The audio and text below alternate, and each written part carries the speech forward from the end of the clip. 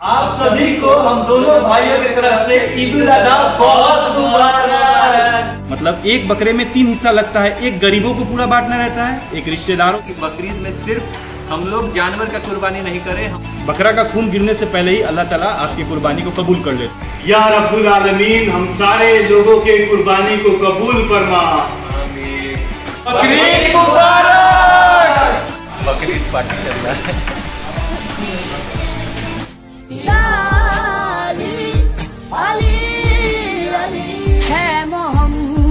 मेरा दिल तो सीना अली मेरे जीने का वाहिद Kareena Ali hello family welcome back to my YouTube channel it's me Tariq Saifullah and he is my bro Khalid Saifullah तो कैसे हैं आप लोग? जैसा कि आपको पता है आज है ईद उल अजहा यानी बकरीद। जी। और एक चीज़ का ध्यान रखना है हमें कि हमें सिर्फ़ जानवर का कुर्बानी नहीं करना है तारिक हम लोग को अपने अंदर जो हमारे अंदर जिद है अहंकार है गुस्सा है और दूसरों के प्रति जो बदगुमानी है लालच है सब उसके साथ साथ जो भी हमारे अंदर बुरी आदतें हैं उन सबको को आज के दिन हम कुर्बान लोगों है। कुर्बान कर देना है। ध्यान रखेंगे ना फैमिली जी जी। लोग क्यों बकरीद को बनाते हैं क्यों सेलिब्रेट करते हैं इस दिन? आखिर हुआ क्या था? अभी क्या हुआ था वो भी हम बताते हैं। और जो और इससे पहले मैं ये बता दूँ आप लोगों को कि हम लोगों का कुर्बानी हो गया एक बकरा था वो कुर्बानी हो गया और हम लोगों के पास जो मीट होता है गोश्त होता है हकीकत में हम लोग के पास कुछ बचा नहीं। एक्चुअली जो बकरा का हम लोग कितना निकला था भैया? करीब साढ़े बारह तेरह किलो। तेरह के जी निकला था उसमें भाई तीन हिस्सा लग जाता है। मतलब एक बकरे में तीन हिस्सा लगता है एक गरीबों को पूरा बांटना रहता है एक रिश्तेदारों जहाँ पर आपके फैमिली मेंबर जो है रिश्तेदार हैं वहाँ पर कुर्बानी जिनके घर नहीं हुआ है उन लोगों को भेजा जाता है और तीसरा जो है अपने अपने अपने लिए अपने फैमिली के लिए। रखा जाता है। ये बहुत ही ज़रूरी चीज़ है ये जानना कुर्बानी करना है तो ऐसा नहीं है कि सारा गोश्त खुद ही खाना है। बहुत सारे लोग भाई लोग ऐसा करते हैं कि गोश्त जो है वो हिस्सा लगाते नहीं है मतलब जो बांटना है थोड़ा आप- बहुत बांट देते आप, हैं। आप एक चीज़ का ध्यान रखो कि जब भी कुर्बानी करो तो बराबर हिस्सा लगाओ। अपने पास कम रखिए भले ही दूसरों को ज़्यादा दीजिए। देखिए अगर आप कुर्बानी कर रहे हैं तो अल्लाह ताला ने आपको उतना दिया है आपकी उतनी हैसियत है तभी कर रहे हैं। बहुत लोग इस पूरे साल गोश्त नहीं खा पाते हैं। खस्सी का गोश्त इतना महँगा है पूरे साल लोग नहीं खा पाते उनका हक पहले है। आपके बगल के जो भी हैं सबसे पहले उनका हक है। आप देखो कि आपके अगल बगल में आस पड़ोस में जो भी गरीब हैं उनको पहले आप खिलाइए। आपके जो भी फैमिली रिलेटिव हैं जिनके यहाँ कुर्बानी नहीं हुआ है उनके यहाँ भेजिए।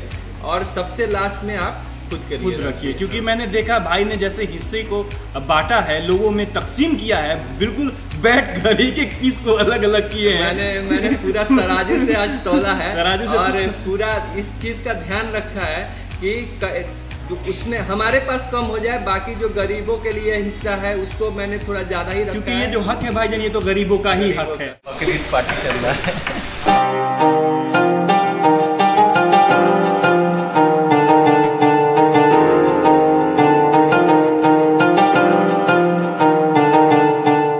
प्रशांत सबको सर्व कर रहा है लास्ट आइए आइए हम लोग के पीछे तो आइए।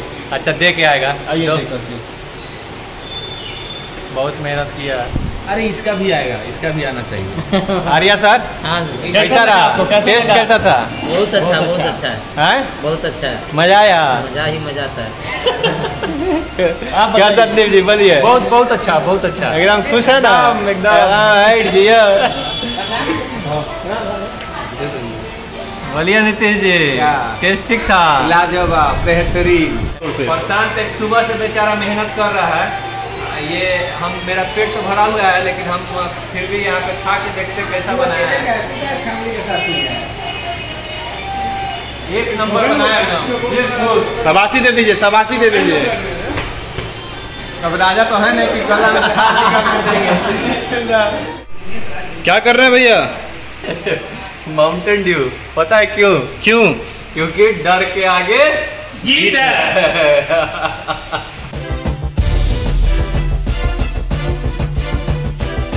कुछ हमारे फैमिली को बता दे कि इसकी शुरुआत कैसे हुई लोग क्यों मनाते हैं।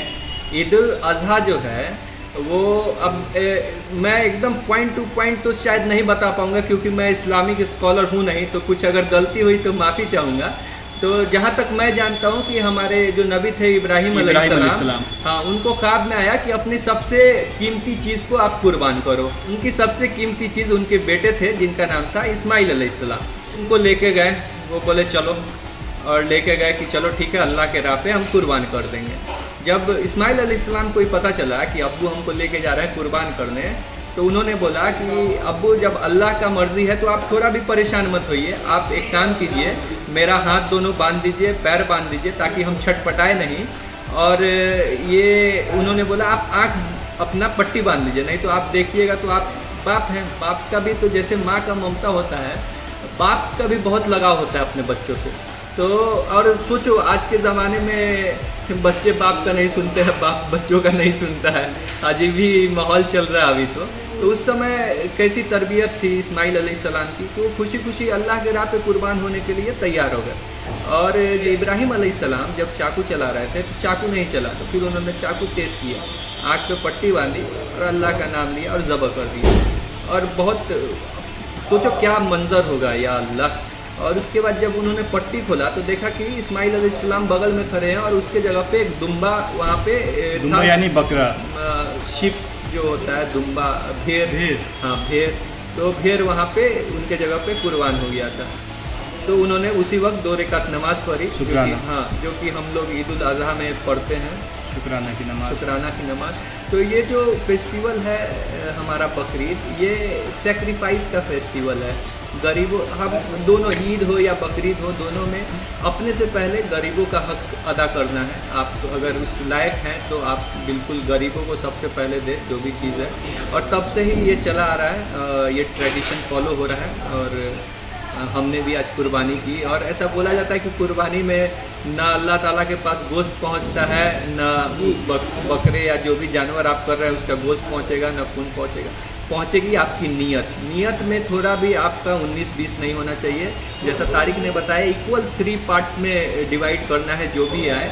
और उसको एक हिस्सा सबसे पहले गरीबों का हक है उसके बाद जो आपके आस पड़ोस ऐसे रिश्तेदार रिश्तेदार हैं जिनके घर कुर्बानी नहीं हुआ है। उनको देना है। और सबसे लास्ट आपको रखना है आप अपना बनाए। और एक हदीस शरीफ में आता है कि अगर आप कुर्बानी कर रहे हैं आपका नीयत साफ़ है और आप कुर्बानी कर रहे हैं तो बकरा का खून गिरने से पहले ही अल्लाह ताला आपकी कुर्बानी को कबूल कर लेते हैं। ये बात है। तो ये इब्राहिम अलैहिस्सलाम के दौर से चला आ रहा है।